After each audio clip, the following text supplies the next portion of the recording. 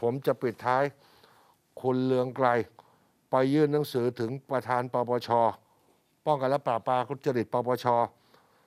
เมื่อวันวาเลนไทน์คือวันนี้ วันนี้ ขอให้ตรวจสอบงานเลี้ยงร่วมมือร่วมใจรัฐบาลประชาชนเมื่อคืนนี้ ว่ามีการนำรถหลวงไปใช้ในงานดังกล่าวหรือไม่ และต้องดำเนินการตามกฎหมายที่เกี่ยวข้องอย่างไรหรือไม่ เมื่อคืนนี้เองท่านผู้ชม โดยคุณเรืองไกรระบุ อ้างอิงว่าเมื่อ 30มกราคมปี 67สำนักข่าวอิสราเคยลงข่าวการใช้รถหลวงไปเรียนหนังสือ แล้วก็มีการเปิดเผยพฤติการอดีตนายกอบตโดนลงโทษจำคุกหนัก 20 ปี เพราะว่าไปใช้รถหลวง นี่อ้างไปให้ปปชเสร็จเลย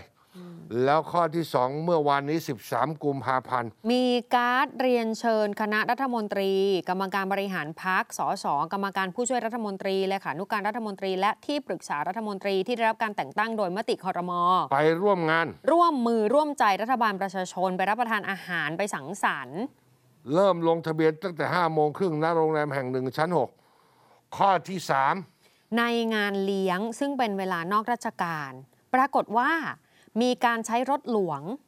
ทั้งมอเตอร์ไซค์รถประจำตำแหน่ง รถราชการไปร่วมงานกันเป็นจำนวนมาก เลขทะเบียนชัด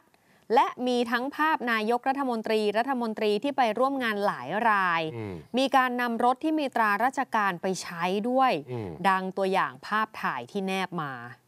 กรณีนี้มีเหตุอันควรตรวจสอบคุณเรืองไกรบอกปปช มีการเอารถหลวงไปใช้ในงานนี้หรือไม่ และจะต้องดำเนินคดีตามกฎหมายที่เกี่ยวข้องอย่างไรหรือไม่ อืม เรียนมาที่ปปช เพื่อให้ตรวจสอบงานเลี้ยง ว่ามีการเอารถหลวงไปใช้จริงไหม และจะต้องดำเนินการตามกฎหมายที่เกี่ยวข้องอย่างไร อ้าวนั่นท่านผู้ชม งานเมื่อวานนี้นี่เอง